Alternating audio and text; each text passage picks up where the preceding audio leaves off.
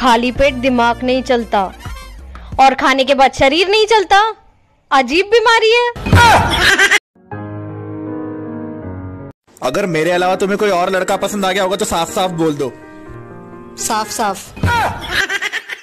नहीं नहीं आपको तो यही लगता है कि आपकी स्माइल अगर सट्टे पे होती तो मैं तो सब कुछ हार चुका होता। क्योंकि सिर्फ़ मुझे देख कर ये जो बिना बात के आप मुस्कुराती रहती है ना बंद करो ना स्माइल करना डांट रहा हूँ ना मैं। मैं गालियाँ नहीं देती। बस कुछ लोगों की हरकतें देखकर मुँह से स्लिप हो जाती है।